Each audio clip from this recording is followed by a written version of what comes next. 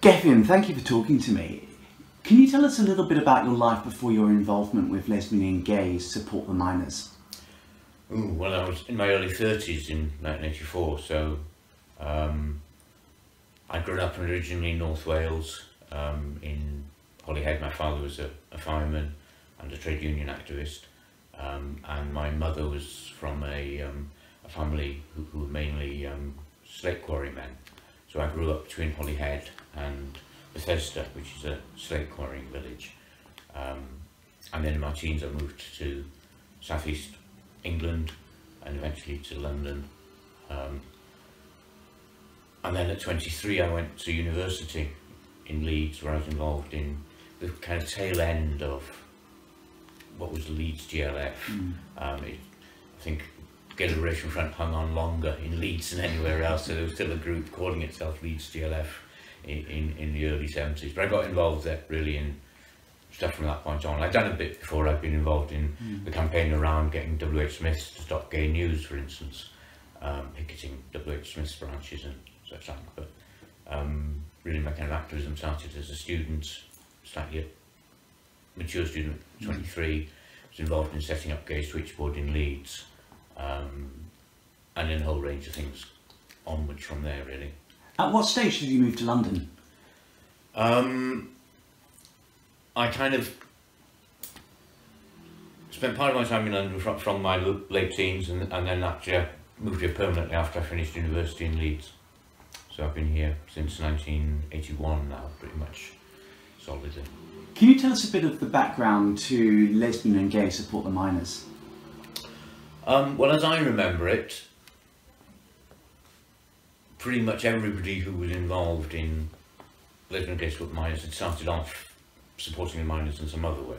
So basically we were a group of young, youngish um, trade union activists, Labour Party activists, Communist Party activists, obviously Mark was General, General, Sec um, General Secretary of the Young Communist League, mm. other people involved in various other uh, lefty groups, um, and most of us were trade unionists. And certainly for myself, I'd been involved um, in collecting for Tower Colliery with um, Lewisham Labour Party, and I've been involved through my trade union uh, in collecting for a colliery in Yorkshire.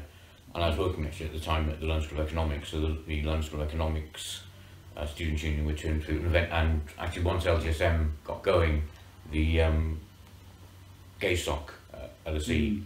um, started raising funds for a pit in, in Scotland.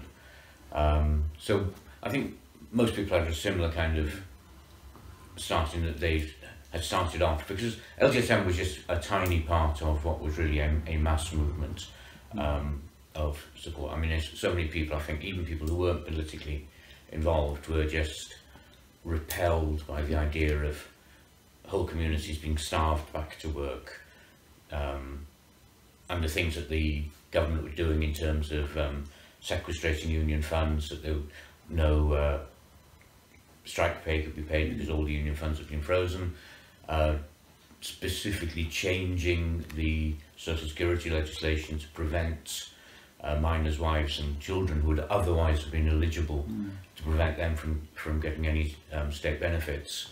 Um, and it was a very, very clear attempt to, to starve people back into, mm. into work. Uh, and people just reacted against that and we were, we were part of that. Mark Ashton you mentioned briefly. He died in 1987. What was he like as a person? He was extremely charismatic. Um, and I think his real genius was just making activism fun. Um, you know, you, you couldn't spend five minutes without him before you were laughing and uh, usually laughing hysterically. Um, he was very, very funny, very committed. Um, I'm very focused. I think it, one of the reasons LGSM worked quite well, even though it had a really disparate group of lefties mm. who would normally be rowing about this, that and everything, um, was that Mark set the tone by saying, right, this is not about politics, this is about raising money. We're not interested, we're not discussing at our meetings, we don't discuss the politics of the, the strike, we don't discuss the politics of anything. Mm. We simply organise who's going to go out and collect where, we count the money, we get it down to Wales as quickly as we can Um, and it just gave a very, very narrow focus, which enabled us to, to actually work well. And of course, we socially we will get we got on. A lot of us were people who already socialised together in the Bell in King's Cross. Mm. That was the kind of alternative lefty queer pub. Um, so we a lot of us knew each other, socialised with each other anyway, and that kind of friendship networks kind of developed and grew. As part of raising money for the mining communities, you held a benefit concert, which was headlined by Bronski Beat. That's right. What yes. do you remember about that concert? Um,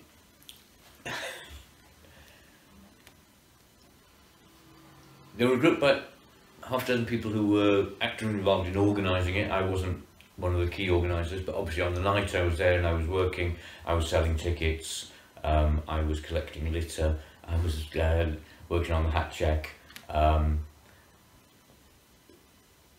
but I remember it as being just incredibly, uh, incredibly packed for a start. I mean, I think we were thrilled with the numbers that turned up. Um, I remember Dai Donovan's speech, um, and uh, the version of the speech, which you know, which appears in the film, is very much Dai Donovan's words. It's taken from a video that we made at the time, All Out Dancing in Dulais. Uh, So it's you know that's virtually what he said. Um, so it was a really inspiring and moving speech, and I think the whole night, and then we went off afterwards. At some point, it was like an hour of the morning, drinking and carousing further. Um, and after that, I don't remember a lot. You're depicted in the film, played by Irish actor Andrew Scott. How accurate was your depiction? Not, it wasn't intended to be a recreation of me. Um, I think the key characters of Mark Ashton and Mike Jackson, they went very carefully to try to find somebody who would really bring that person back to life. Who, well, in, in Mike's case, he's still here, but I mean to really, you know, be that person. And if you close your eyes and listen to Joe Gilgun, you could be listening to Mike Jackson. Um, and they're physically similar.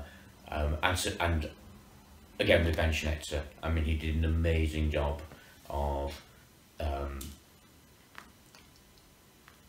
bringing Mark's character and mannerisms and ways of speaking and all of that stuff. So they were very, very, very much based on the real characters. I think the other characters tended to be there for specific reasons. So I think the Gethin character is very much intended to contrast with the Cliff character. So you have Cliff who is gay, stays within his community, retains his ties with his community um, at the cost of suppressing his gay life. And you have Gethin who is also gay but who leaves, who lives an openly gay life but at the cost of losing some of that contact with his family and his community. And I think that's a story which resonates with all sorts of people from, you know, kind of country, back, you know, rural backgrounds or religious backgrounds or whatever. I think that's a choice that lots of gay men had to make in the past. Um, so the character was there for that particular purpose, and there were some aspects of it that were taken. So I, I didn't actually manage to the word. I worked in a bookshop during the. Because you were depi- well, the Gethin character was depicted as being the owner That's right. against Yes. Yeah, which was never the case. I mean, uh, I worked in a bookshop, so there was that kind of slight element, which then possibly triggered students to think, "Oh right, okay, well let's merge that bookshop and And Well- character was also portrayed as being the boyfriend of Jonathan Blake, which wasn't the case either. No, no. Jonathan and Nigel were together at the- at the time of the strike, and they're still together now. Um, so uh, we've been friends for that period, but uh, no, we were we were never partners, and we never lived upstairs, and we never had that outrageous pink dildo. That all came from Stephen Beresford's imagination. And that film, there's a wonderful scene in it, my favourite scene, where Jonathan Blake is dancing on the table at the disco to Shame, Shame, Shame. Yeah. Did that scene ever take place? No, that's is, that's a scene which was again triggered by a real life thing. In that, um, one of the things which Stephen saw when he was preparing, you know, when he was researching the recipe, he was shown a photograph, um, and it's a photograph of Jonathan on the dance floor at uh, Miners Welfare, surrounded by this group of women and some of us in the background. Um, so there's an element of it. I mean, most of the men in Dulais, uh, in, in Youngford and Dulais Valley South Wales generally, I guess, didn't really dance. I mean, some of the older men would waltz or foxtrot and kind of ballroom dancing, but all this kind of you know, getting up on the dance floor and dancing to disco music um, and moving their hips. It wasn't really something that Welsh miners did. So when we went down there, there was this sense that, you know, kind of, God, there are all these men who will dance now. I wasn't actually one of them because I don't dance, but that's because I'm Welsh, I don't know. Um, so my only dancing experience at Onllwyn was actually dancing with um, John Headon, very, very drunk at three or four in the morning, uh, waltzing with uh, Hefina Headon's husband, John, um, who was one, kind of one of these older people who were really into ballroom dancing, not normally with a man. But anyway, so that, that kind of triggered, that photograph triggered this, this, um, this, this dance sequence. There's a very touching scene in the film, which I saw the film in Sydney, and it's when the Gethin character meets, I believe, his mother, Yeah. and they're reunited. Even talking about it with you now gets me tearful. Did you have a similar experience? that again is it's part of the character, uh, part of the, the, the kind of um, part of the storyline that, that Stephen wanted to develop, and the idea of you know making that choice between staying and leaving, and what you gain and lose by those choices. Um, and I suspect that also he, I mean, I think one of the things about the film I, that I feel is that you know, that kind of none of the characters is wholly bad. You know, he's the, the film finds something good about pretty much everybody. Uh, you know, you, you see the tensions between um, Bromley and his mother, but at the same time, you also see, you know, his mother expressing her love for him, and this kind of explanation that her actions are actually triggered by genuine concern. She doesn't want him to be old and lonely and uh, having to live a secret life. So it's ignorance rather than nastiness, which is, you know, you know, motivating her. And I think, you know, again that that reconciliation, which is kind of hinted at. It's not, you know, because Gethin meets his mum at the door and then it fades away and he's back on his way back to um, to South Wales. And, uh, you know, a journey that wouldn't actually been possible to Krill, where the mythical Gethin came from. Um, I think because um, Andrew's makeup artist was from Krill. Ah, So he was spending an hour and a half talking to somebody with a real accent, and they thought, and they thought oh, well, let's make him come from Brill because he's going to go on there talking with a real accent. Uh, it's not really a Bangor accent. so it's accent. part of Gethin you? I suppose in obviously I was there, so it's my name. I mean, some of the stuff that he did, going down there collecting, uh, working in a bookshop, um, being slightly older than the the most of people. Most of the people were five, six, seven years younger than me. So there were a few were sort of just that little bit older and perhaps been involved in some earlier stuff. Um, being a bit quieter and shy and reticent. As you can see, I'm very quiet and shy and reticent.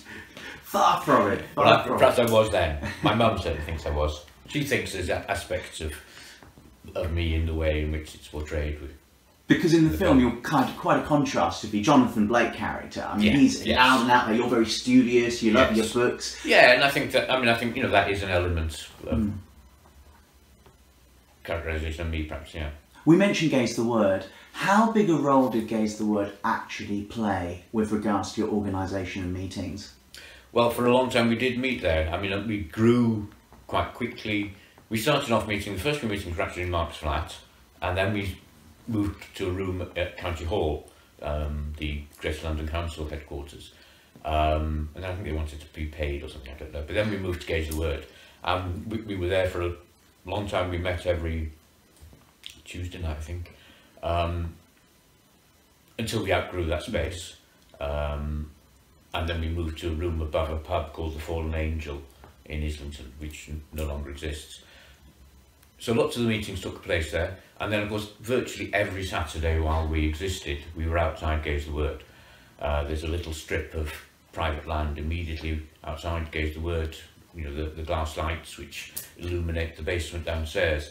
Uh, that's private land and the police couldn't move us from it, from there.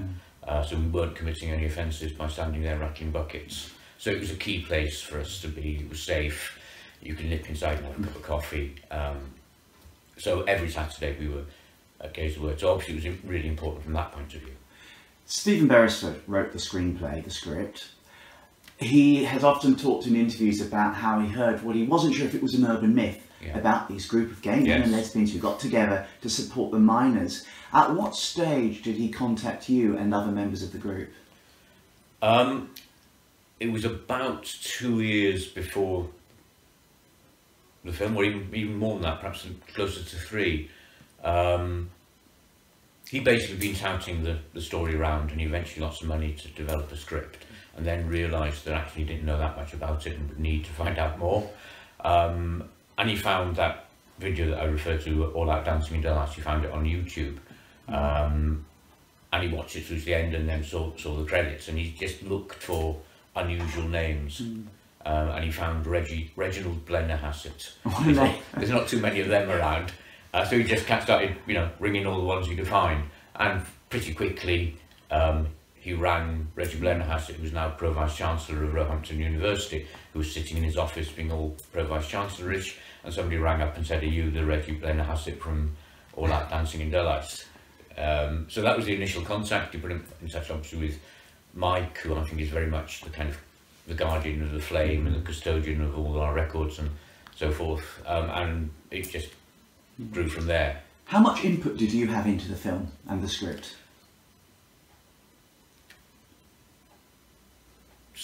Stephen spent a lot of time talking to us, researching us. He went down to South Wales and spoke to people there, and obviously he, he kind of looked at all the, the, the documentation, all our minutes and stuff, which is in the um, National Labour Museum, um, or National Museum of Labour History, it's gone now, isn't it? Um, and that process probably took about 12 months, and we met him on numerous occasions, and we got to know him really well, and he came to social events with us, and um, built that kind of relationship of trust. And then he said, right, okay, now I'm going to sit down and write my script. Um, and I'm not going to show it to you, I'm not going to talk to you about it, I'm not going to um, have any input from you uh, until the script is finished and the film is mostly made.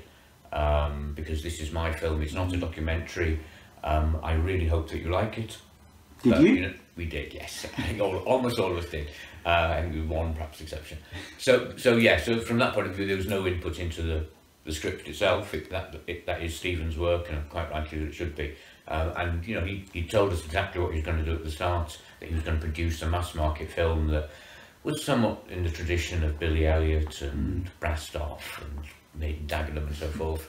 And it was going to be aimed very much at brass market, uh, a mass market. It would make um, you know, there, there would have to be compromises and things that couldn't be referred to. Um, but that's what that's what he wanted to do. That's what he felt the story deserved, and I think he really delivered that. How accurate was the film? There are certainly things that are invented. Um, there are characters, people who are invented. Um, there are events that are dramatised. Uh, there are events that are entirely made up. Um, but I think it's obviously based on a very large amount of real life and stuff that really happened. Those visits that where where we went out to South Wales and the visits where where miners and their wives came up to London and the miners coming on the march. That all happened. Uh, the fundraising happened. The um, Pits and Perverts benefit happened. Um, the storyline about Jonathan and um, being you know one of the very early people diagnosed with HIV. That's all based on reality. It's all true.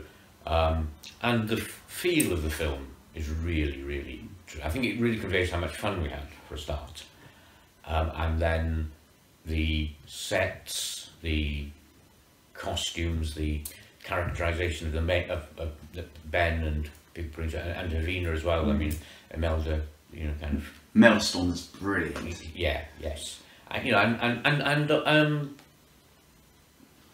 sorry, blank. I remember the, actress who plays Sharon. I mean, you know, they, they really do. And um, the Gwen character, she's invented, but she is, you know, she, there were people just like her, and lots of them. Um, so she may have been fictionalised, but she, she, you know, she, she is part of the reality of of, of, of South Wales mining communities. I mean, I've met lots of young gay men in South Wales at various screenings and such. Like, and they, very often they say to me, I really love Gwen. She's just like my auntie. um, so it was really, really realistic in that way. The sets were realistic.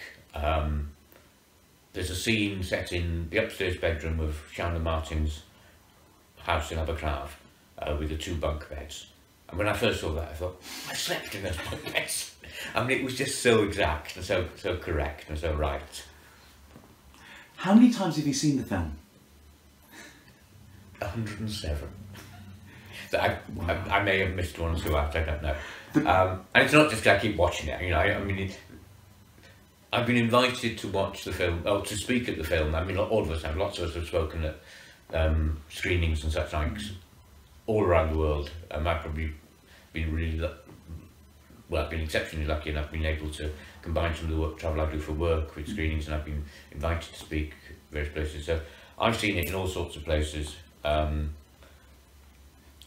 so that's why it's 107. It's not that I sit here quietly in my bedroom watching it night after night. The reaction to the film has been phenomenal. I saw the film in Sydney with an audience at a, a queer cinema festival.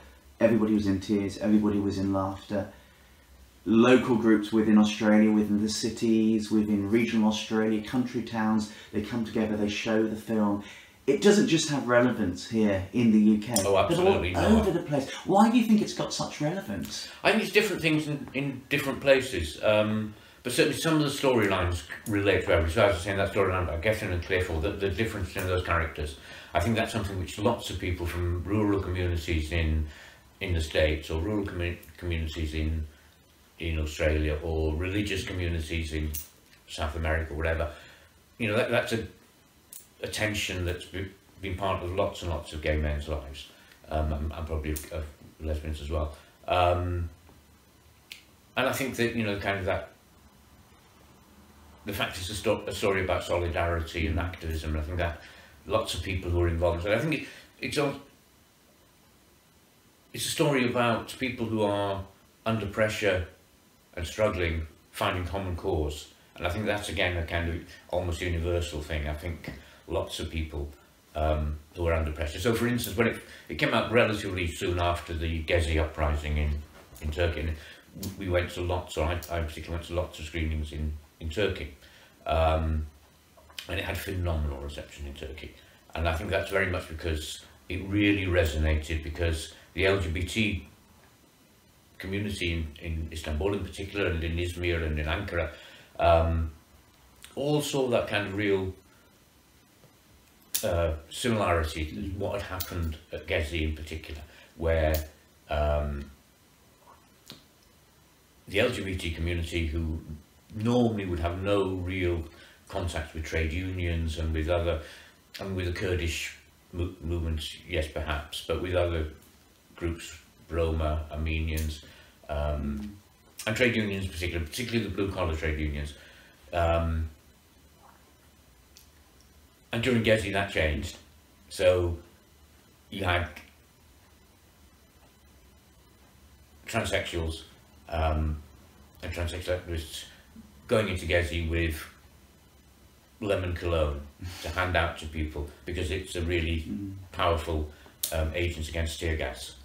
So you had all these Chinese running around with bottles of cologne, he- helping to, and you know, people were, who would normally not have taken anything from them. They would, and that all that kind of stuff started to build that relationship, and and I think the film mirrored some of that. So we had amazing responses in in Turkey. Solidarity. Yeah, absolutely. Now there's a book out, Pride by Tim Tate. What's the book about? It's actually the recollections of stories of, I think, about 19 of us who were involved at the time. So Tim spent a long time just talking to people um, and getting to talk about the strike and what, how they got involved and what they remember of it and how it affected them and so forth. So it's mainly people who were involved in Lesbians, Gays, But Miners here in London, but also some of the key players from South Wales. And obviously the film really dramatises a few people. Um, there are lots, and, and you know, I was one of the lucky ones who my name was attached to a character because there was a he, he want Stephen, I think, wanted a Welsh character. He wanted somebody who'd moved from Wales and all the rest of it, so I fitted the bill. Um, but, you know, that, that was really just pretty random. Six or 70 other people who were just as active in LGSM didn't get their names in the film. Um, so for some of them, I think it, it you know, uh, the idea very much was to tell the true story now. It wasn't just me and Mike and Mark and Reggie and Ray and Jonathan and Steph. It was lots and lots of other people. Um, and some of those people have been able to get their story featured in the book. Um, and I think actually there's still quite a lot more stuff to to talk about and, and to write about and people to do stuff about. I mean, you know, we've seen, we've had plays and we've had um, kind of artworks created, uh, including a life-size statue of a, a life-size papier-mâché statue of a miner wearing a Pits and Perverts t-shirt, which my mother made, which is now in the National Museum of Wales. Didn't The Sun and other tabloids adopt the phrase pits and perverts? No, that was again a little bit of invention by a lot of invention by Mark. The Sun never ran a headline, Pits and Perverts. Um, there were a few nasty stories, but not really very many. Mostly we were entirely ignored. Um, but that kind of Pitch and Perverts headline was something that Stephen invented. And, and the film doesn't, in fact, suggest it's the Sun. I think it's simply that anybody who knows anything about the Sun recognises that's the kind of thing they might well have done. Um, but no, they didn't. When you go to all these events like premieres and book launches, do you feel like a star? No, I mean, I feel very privileged. Um, it's really striking just how, how nice people are. Um, so it's always in enormous. I mean, you were there at the, the launch the other night, and Brilliant. You know, it was just everybody was so lovely. Um, it al- it's always like that. You always have a really good time. And what I found and struck out the most to me about that book launch at Gays the Word was the crowd of people, mainly younger. Yeah. I expected an older group of people. Do you think it's because of films like Pride that it is making younger people more aware of our history? I think so. I think there's a there's been a real upsurge in interest in our history over the last two years or so, and I think Pride did play a role in that. I think some of it would have happened anyway. I mean, I think there is, you know, the, the 50th anniversary of the partial decriminalisation um, of male homosexuality that has triggered a well, actually, it's triggered quite a lot of much more stuff than I was really expecting in terms of um, you know kind of polite society.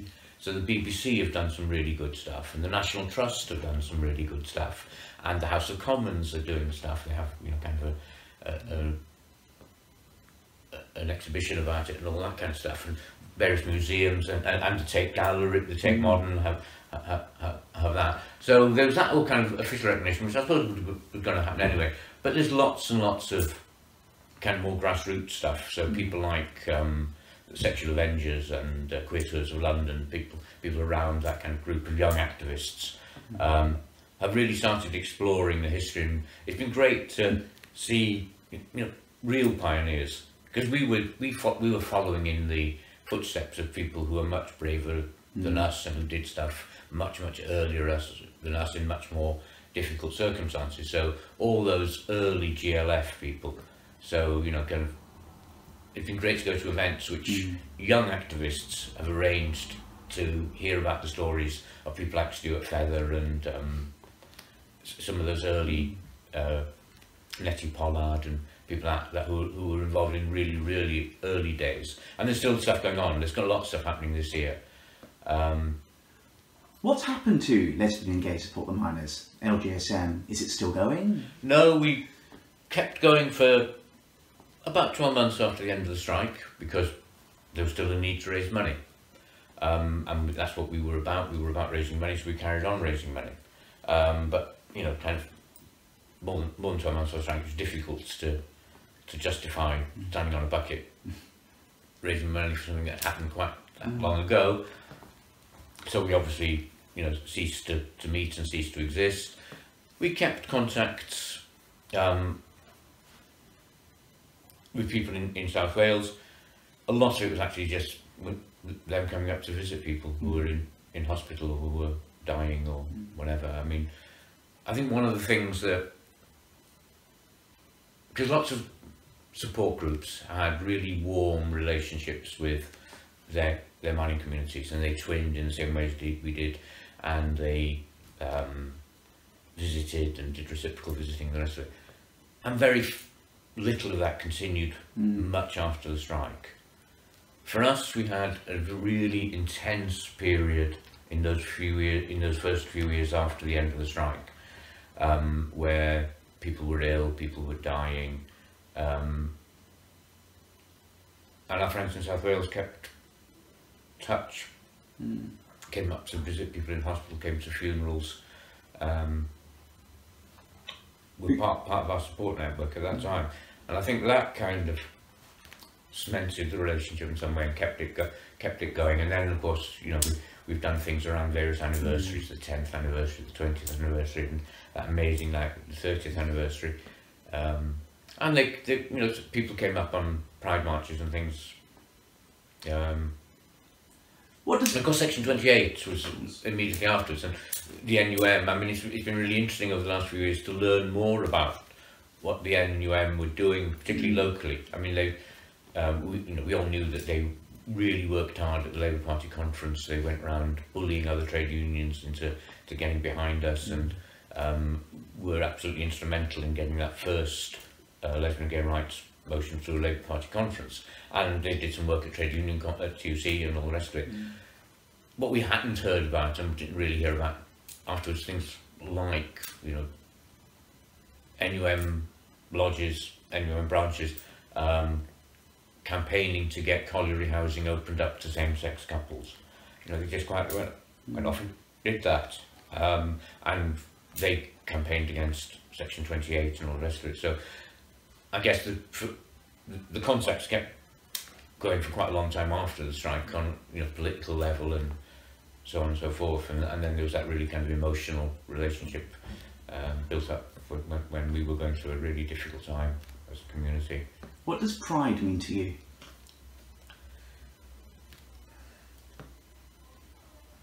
I suppose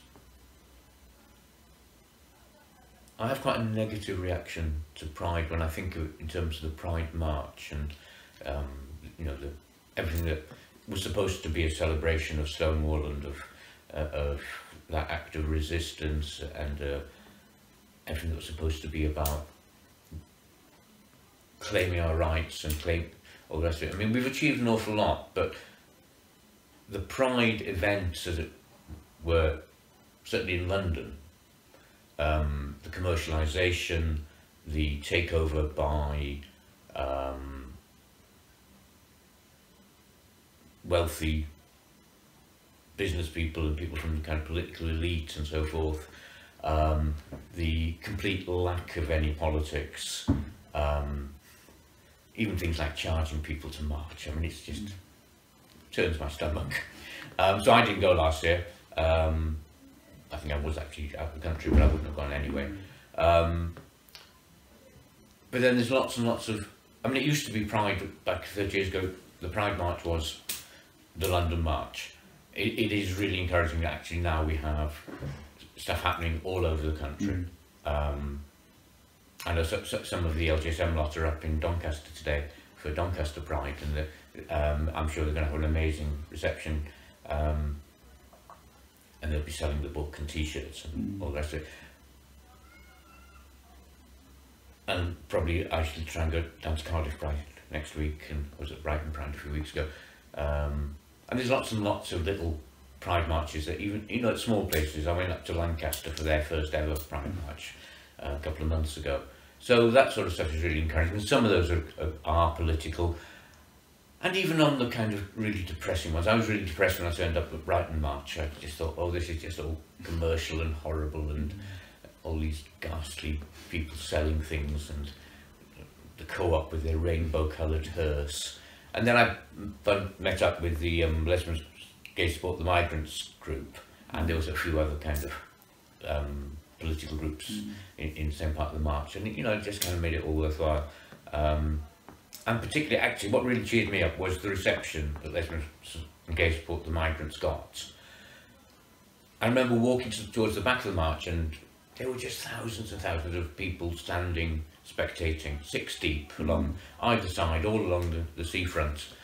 And I was just thinking, you know, why are you standing there spectating? It's supposed to be a march, a demonstration. Join us and, you know, kind of get involved. Um, you're just here for the, the colour and the, the feathers and all the, the folder roll. Um, so I was feeling quite negative about it. And then as we came along, we got this amazing response to the Lesbian Gay Support Migrants contingents. And people were really, really pleased to see that they, you know, they were there and they were really encouraging and really um, supportive. And that really cheered me up as enormously. By the end of March, I was, I was so happy I even smiled at the policeman. You've hinted at it with lesbian and gay support the migrants. What do we have left to fight for? Oh, there's lots of stuff. Um, I mean, there's a whole range of stuff around trans issues and, you know, the rights of people to, to define their their genders and to live their lives and, and to decide whether they want a gender and all the rest of it. And, and I think that's been a really remarkable change over the last 10 years, that th those issues have really come to the forth. There's lots of stuff about young people, particularly in schools.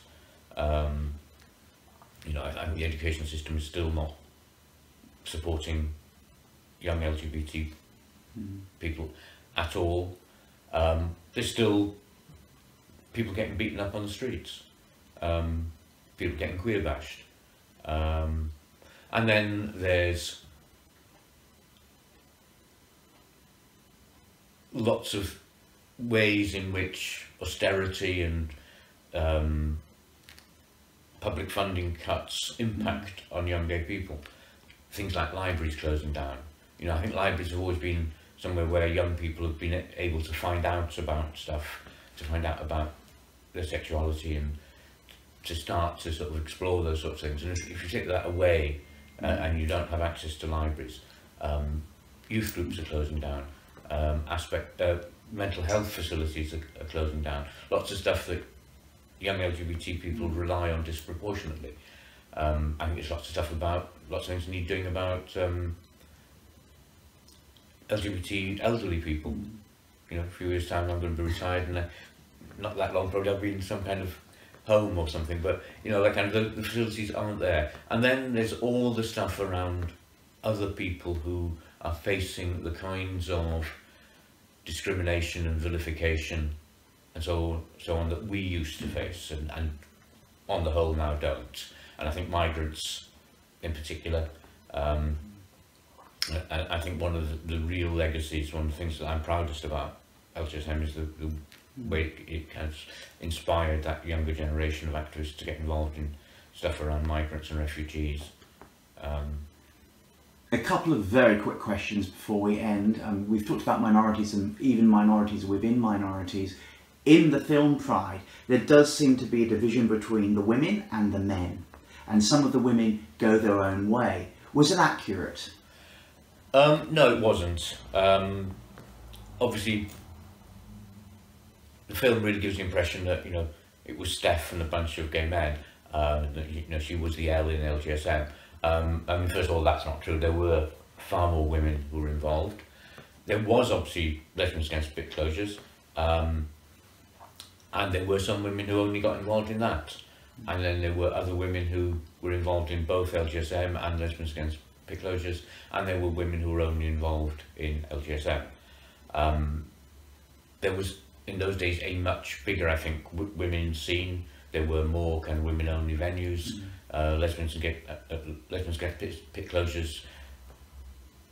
You know, ha- had a real mission in terms of collecting in, in women-only venues where we wouldn't have been able to go. Um, there were obviously tensions, as there always have been, where you know lesbians, Mm. gay men are working together, um, or certainly in those days. Um, but I think you know it, does manage to represent it, and I think the, the only thing actually that we were really disappointed about in, in terms of the film is that kind of um, cheap jibe about um, you know, the, the cheap portrayal of, of, of, of lesbians in, in, in that little scene in the in the miners' welfare. Um, you know, kind of. It didn't really portray accurately. What is Gethin Roberts doing with his life today? Ooh, um, I'm involved in my trade union as I have been for many years. I'm involved in the Labour Party as I have, hadn't been for many years, but since Jeremy Corbyn, um, I, I, I've been reinvigorated and rejoined the Labour Party and obviously you know, doing everything I can to support um, this new mood, in the Labour Party and, and support the Corbyn leadership. Um, I'm involved in Lesbians, Gay Support, the Migrants to some extent. I still do quite a lot of stuff around the film.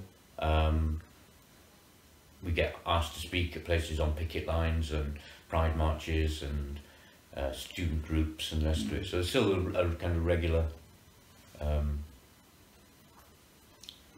kind of requests for for people to attend events, and I do quite a lot of that. Um, I try to do stuff around supporting um, some of the groups that we've had contact with through the film. So, Mhm. so for instance, particularly in Turkey, I mean, I think you know the situation in Turkey goes from bad to worse. Um, the lesbian and gay movement are under real, real pressure.